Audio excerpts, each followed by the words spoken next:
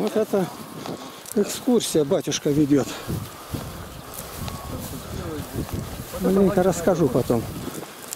Он повел, не сказал, даже завел в лагерь.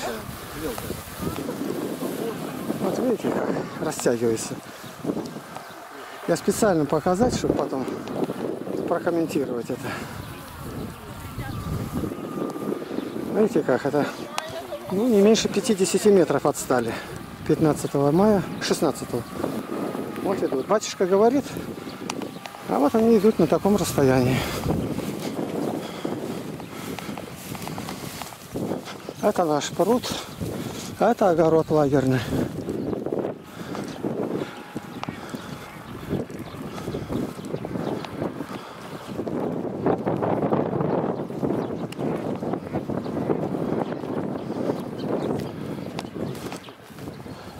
Там утки летают.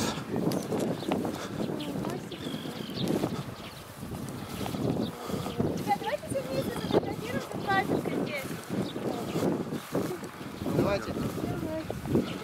Так, все подтянулись. Давайте сюда. Вот послушайте маленько. Батюшка сидит, что-то... Сфотографируемся, говорят. Ну, давай. Давай. Батюшка к ним идет, а они к нему не идут. Как у вас не получится, на солнце стоит, да, да?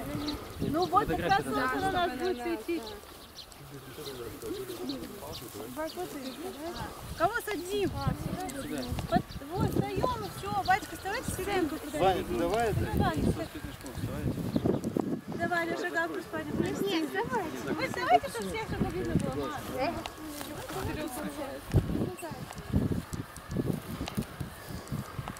Внимание. Даже тут двигается, вот. Скажи раз, два, три, потому что сон. Раз, два, три. Еще раз. Внимание. Руку уберите.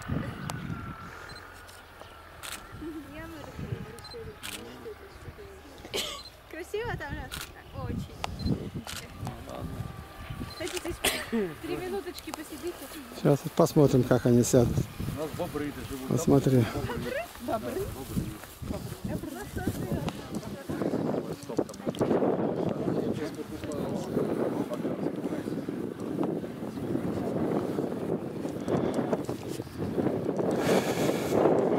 Каждый год вода в озере. Так, я вопросов несколько задам. То, что вы слышали вот от батюшки, вы это много раз слышали в своей жизни?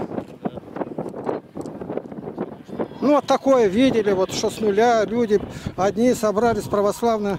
Спрашивают, а почему, когда батюшка рассказывает, на 50 метров растянулись? Вот эти вот ребята, они вообще как будто бы чужие. Нигде не подходят. Почему? Да, слушай.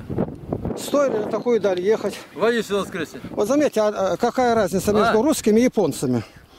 А я здесь э, с экскурсией э, провожу. Здесь сидим, где на скамеечках у озера. На пруду. А, ты уже приехал? Ну хорошо, благочинный приехал. Так, Отец Олег Мария, не отвлекай никого. из Романова. Группа в 70 человек. Японский учитель идет. У каждого фотоаппарат. Это я считал в более давние времена. Сейчас, наверное, у каждого видик. Но ни один нигде не фотографирует.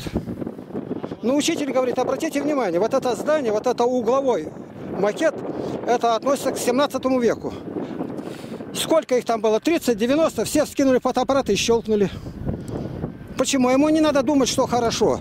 За него уже обдумали, уже книги написаны про это здание. А без учителя они прошли бы, не заметили. Идут дальше. Учитель говорит, вы заметили этот светофор? Этот светофор первый в Токио был. Все до единого тут же сфотографировали. Вы еще не знаете, что скажет батюшка. У него огромный опыт. Он работал по всей стране священником. Был в армии. Что видел? Идет, рассказывает, растянулись минимум на 50 метров. Вот эти ребята, они ничем не интересуются. Идут, между собой разговаривают. Вы никогда ничего не узнаете.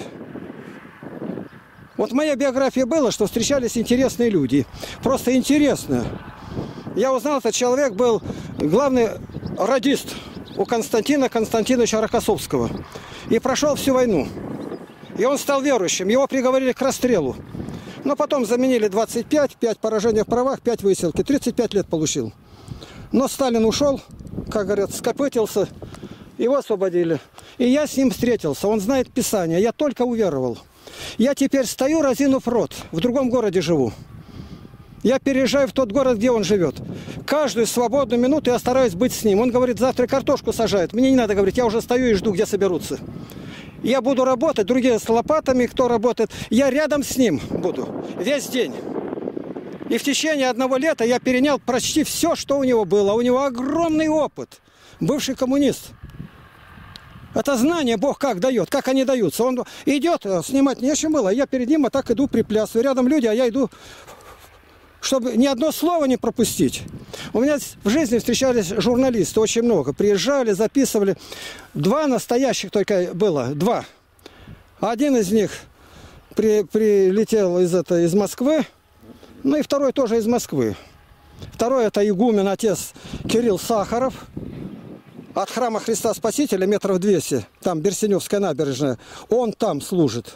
Это удивительный человек, член Союза писателей. И он приехал с группой, у нас здесь был. Он с утра до вечера записывает, тогда магнитофоны были. Магнитофон сломался, он ручкой записывает. И все это опубликует в книгах.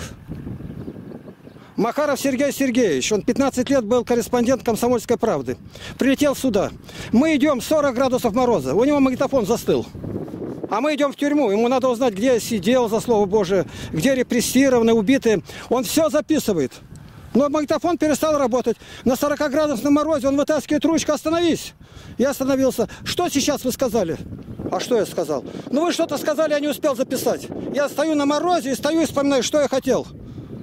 У него громаднейший опыт, поездка по всему миру. Но он встретился, что показалось ему интересным, и я не слышал. И это все он опубликует в отдельном материале. Это интересный человек, он много знает и много будет еще больше знать. Время уже на службу, уже время идет. А посмотри, все, пятый, у нас же с пяти служба. Ну, к пяти время уже пи- 15 минут уже. Пропеть, да. 15 минут уже. Мы пока дойдем, уже Пятого? будет полчаса. Конечно. 15 Ну, все тогда. Вот я хотел вам на будущее сказать. Если кто идет где батюшка, вы ни на шаг не отставайте. Слушайте, Хорошо, ладно. что он вам говорит. Что вы так? А вы, как старшие, должны смотреть за этим. Вы приехали не просто глаза, глазами хлопать, а чтобы уехать другими. Чтобы многое-многое вам Бог открыл.